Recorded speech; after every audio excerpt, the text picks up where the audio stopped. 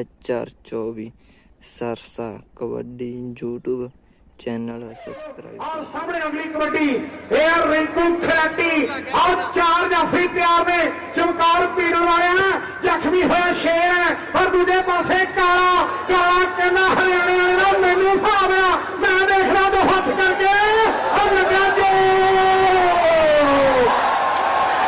ਉਹ ਦਰਸ਼ਕ ਵੀਰੋ ਸਮਾਰ ਗਿਆ ਕਾਲੇ ਭਾਈ ਗੁੱਸਾ ਕਿਉਂ ਕਰ ਰਿਹਾ ਹੈ ਬਾਕੀ ਤੇ ਗੰਗੋਲੀ ਜੀਂਦ ਲਾ ਮੁੰਡਾ ਰੇਡ ਪਾਉਣ ਦੇ ਵਾਸਤੇ ਜੋਤਾ ਖੇਡ ਮੈਦਾਨ ਦੇ ਵਿੱਚ ਅੱਗੇ ਨੂੰ ਵਾਧਾ ਹੋਇਆ ਇਧਰਲੇ ਪਾਸੇ ਮੁੰਡੇ ਦੀ ਟਰਾਈ। ਇਹ ਕਹਿੰਦੇ ਕਾਲਾ ਹਰੀਗੜ ਕਈਣ ਵਾਲਾ ਜਿਹੜਾ ਇਧਰ ਜਫਾ ਲਾ ਗਿਆ ਐਨ ਬੱਲੇ ਬੱਲੇ ਕਰਵਾਤੀ ਮੇਰੇ ਮਿੱਤਰੋ। ਲੱਗਿਆ ਹੋਇਆ ਜ਼ੋਰ ਕਿ ਜ਼ੋਰ ਤੇ ਜਵਾਨੀ ਹੁੰਦਾ ਉਮਰਾਂ ਦਾ ਖੇਲ ਜੀ। ਇਹਦੇ ਵਿੱਚ ਹੁੰਦਾ ਕਹਿੰਦੇ ਸਾਨਾ ਵਾਲਾ। ਭੇੜ ਜੀ। ਇਹਦੇ ਵਿੱਚ ਹੁੰਦਾ ਕਹਿੰਦੇ ਸ਼ਹਿਰ ਇਹਦਾ ਤਗੜਾ ਮੁਕਾਬਲਾ ਖੇਡਿਆ ਜਾ ਰਿਹਾ ਹੈ। ਕਈਆਂ ਦੇ ਲੋਕਾਂ ਵਾਲੇ ਹੈਂਡ ਬ੍ਰੇਕਾਂ ਖਿੱਚਦੇ ਆ ਗੱਡੀਆਂ ਕਾਊਂਟਰਾਂ ਦੇ ਲਾਗਿਆਂ ਵੀ ਟਾਈਮ ਪੂਰਾ ਹੋ ਗਿਆ ਹੁਣ ਆਰੇ ਮੈਚ ਵਿੱਚ ਕਿਹੜੇ ਖੜਨਗੇ? ਔਰ ਸਾਹਮਣੇ ਮੇਰੇ ਮਿੱਤਰੋ ਇਹ ਡਬਲ ਟਾਈਮ ਚੱਕਣਾ ਪੈਂਦਾ ਬੱਸਾਂ ਵਾਲਾ ਲੋ ਲੋ ਲੋ ਲੋ ਹੋ ਕਾਲਿਆ ਹੋ ਕਾਲਿਆ ਚਿੱਤ ਖੁਸ਼ ਕੀਤਾ ਇਹ ਮੁੰਡਿਆ। ਆ ਦਰਸ਼ਕ ਦੇ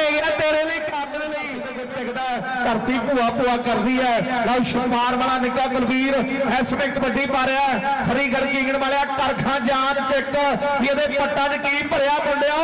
ਹੋ ਕਾਲਾ ਕਾਲਾ ਕਾਲਾ ਹੋ ਗਈ ਲਾਲਾ ਲਾਲਾ ਕਾਲਾ ਕਾਲਾ ਹੋ ਗਈ ਲਾਲਾ ਲਾਲਾ ਹੋ ਗਈ ਲਾਲਾ ਲਾਲਾ ਕਾਲਾ ਕਾਲਾ ਹੋ ਗਈ ਲਾਲਾ ਲਾਲਾ ਅੱਜ ਦੇ ਟੂਰਨਾਮੈਂਟ ਦਾ ਹੁਣ ਤੱਕ ਦਾ ਆਹ ਤਾੜੀਆਂ ਹੁਣ ਵੱਜੀਆਂ। ਲੈ ਵੀ ਖੰਨੇ ਵਾਲਿਆ ਕਰ ਗੱਲ। ਇਹ ਰੀਤਾ ਕਹਿੰਦੇ ਫਿਰ ਅਗਲੀ ਰੇਡ ਪਾ ਹਨ ਮਸਲਾ ਕਹਿੰਦੇ ਹਿੰਡ ਦਾ ਮਸਲਾ ਜਿੱਤ ਦਾ ਬਣਿਆ ਹੋਇਆ ਹੈ। ਇਧਰ ਕਾਲਾ ਹਰੀਗੜ ਕਿੰਗਣ ਵਾਲਾ ਏ। ਏ ਏ ਬੱਲੇ ਬੱਲੇ ਬੱਲੇ ਬੱਲੇ ਬੱਲੇ ਹੁਣ ਸਾਰਾ ਨੱਚੂ ਮੇਰੇ ਵੀਰੋ ਹੁਣ।